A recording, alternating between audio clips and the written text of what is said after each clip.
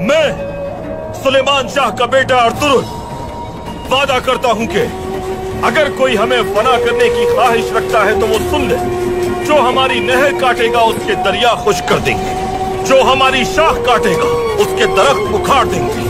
दुश्मन जान ले, अगर हमारी आग बुझाने की कोशिश की तो हम उसका सूरज बुझा देंगे। मैं अपनी तलवार की कसम खाता हूँ।